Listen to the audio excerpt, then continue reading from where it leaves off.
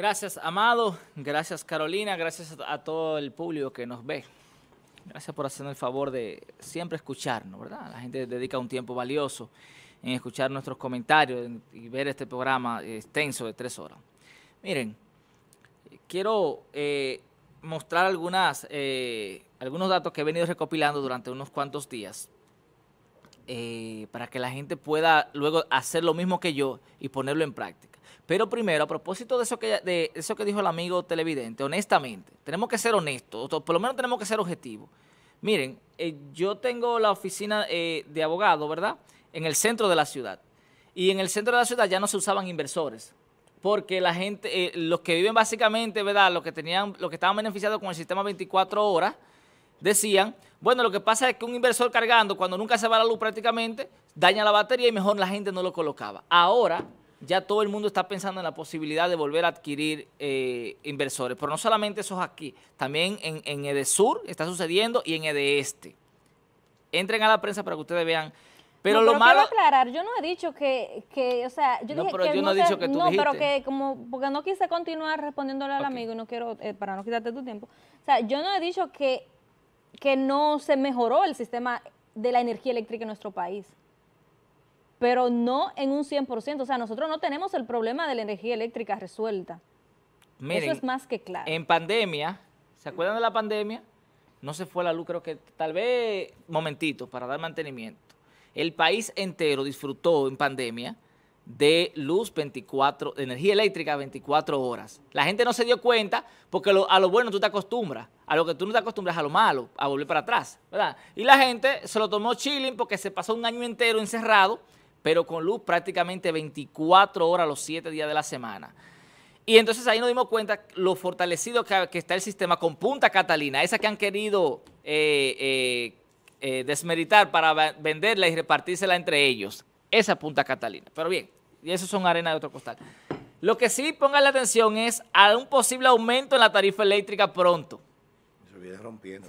Miren, pronto viene un aumento en la tarifa eléctrica porque hay un descontrol y hay una falta de manejo, una falta de, gerencia en la administración de las EDES. Por eso ustedes ven que van a desacreditar a Punta Catalina porque hay un grupo de ricos que se quieren apoderar de eso, que es del Estado, Punta Catalina es del Estado, y hay un grupo de ricos que van a querer desacreditar eso, claro, van, a, van a engañar a, a, los que, ¿verdad?, a los que se dejen engañar, pero van a querer desacreditar a Punta Catalina para ellos adquirirla, y entonces cuando ellos la tengan, entonces sí es buena Punta Catalina. Pero ya es otro tema. Con relación a, esto del PLD, miren señores, tienen siempre que ver el fondo de la cosa. No se queden nunca en, lo, de afuera. Váyanse siempre al fondo. Póngame un tweet que yo envié ahí en el WhatsApp. ¿Qué es lo que el PLD ha logrado con esto? Es el último, muchachos. Eso lo, voy a mostrar ahora. Miren eso. El PLD ahora mismo es tendencia número uno del país. Es decir, que logró que el país, eh, por lo menos en Twitter, esté hablando de ello. Y en todos los medios de comunicación, hoy se está hablando de Margarita. ¿Y quién es Margarita? una dirigente del PLD, es decir, que han volcado la opinión pública a hablar del PLD. Es decir, que el PLD captó, por lo menos hoy, de ayer para acá, la opinión pública. Eso es un golpe estratégico. Le han quitado popularidad a todo el mundo y están poniendo a la gente a hablar de sus candidatos. ¿Cómo se llama eso? Una publicidad obligada. Fíjense ustedes que el tema de hoy, el tema principal, es Margarita. Pero aquí estuvo a ver el fin de semana. Si ustedes entran a Twitter, ustedes se van a dar cuenta. Hay gente hablando mal y hay gente hablando bien, pero se está hablando del PLD. Y decía eh, eh, alguien por ahí que hablen bien o mal de ti, pero que hablen.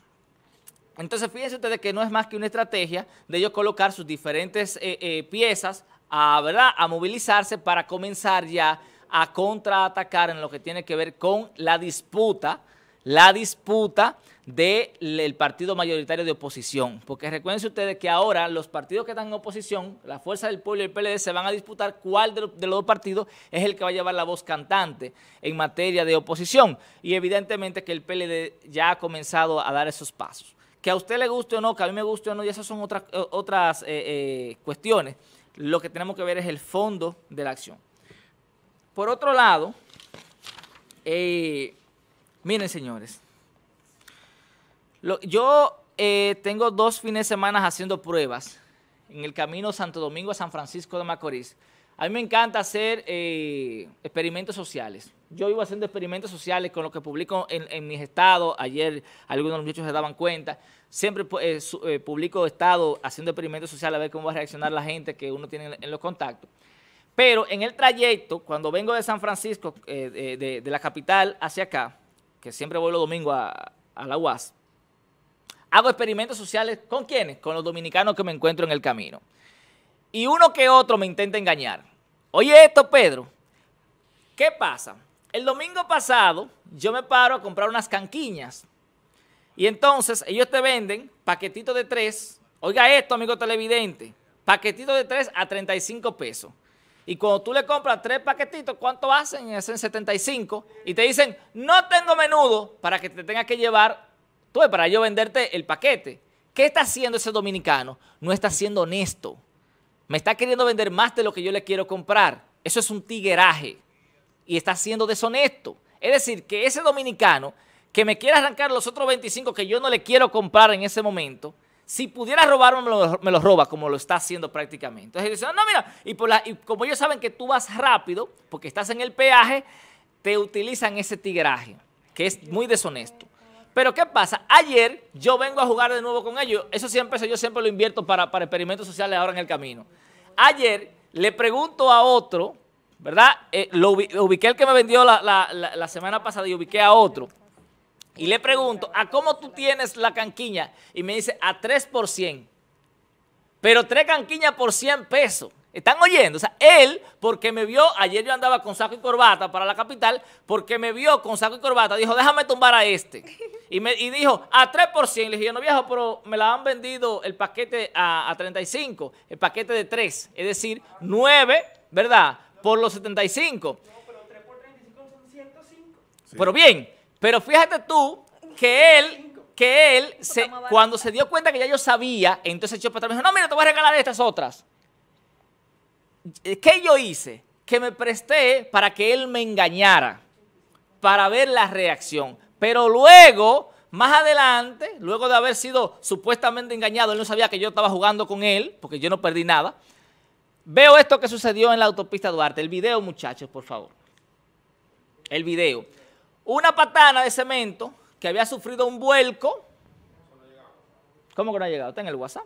Vamos a ver. Porque si no lo presentamos aquí directo. Eh, y sí que llegó, sí que llegó, mírenlo ahí.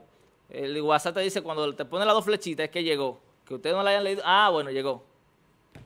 Acuérdense que somos gente... Miren eso. ¿Qué está sucediendo ahí? Eso es una patana que sufrió, sufrió un vuelco. ¿Y qué está haciendo el dominicano? Eso no son políticos, señores. Son dominicanos. Me imagino que robándose el cemento. Esas son la gente que en redes sociales acusan o llamado eso que tú estás viendo ahí son los que en redes sociales acusan a los políticos de ser ladrones y ahí se están robando fundas de cemento. Fundas devuélvanlo para que la gente lo vea. Miren, más que preocuparse por ayudar a ese ciudadano, ¿verdad? Miren, o por proteger esa propiedad privada que alguien hizo una inversión, ¿verdad? Para construir. Miren lo que están haciendo. Robándose todas las fundas de cemento y montándole motor en guagua en lo que aparece. ¿Están entendiendo ustedes que el problema no está en los políticos, que es el dominicano? Le acabo de decir que me, intentaron tumbar, y lo voy a hacer el domingo, el, domingo que viene, lo voy a hacer todos los domingos ese juego con diferentes vendedores para que ustedes vean que el dominicano es corrupto, pero no solamente dominicano, en, Latinoamérica entera, es nuestra cultura que es así, que nos han criado eh, con doble moral, queriendo beneficiarnos, queriendo quitarle lo del otro para nosotros beneficiarnos, pero siempre queriendo que el otro sea que cumpla la ley, pero yo no. ¿Están entendiendo que el problema no está en la política? ¿Están entendiendo que el problema no está en las instituciones? ¿Que el problema está en el ser humano? ¿Mm? ¿Qué, deberíamos de hacer? Tratar de cambiar eso. Tratar de cambiar eso. tratar de cambiar la mentalidad del dominicano, trabajándole en el pensamiento, en el pensamiento porque el pensamiento es lo que modifica la conducta.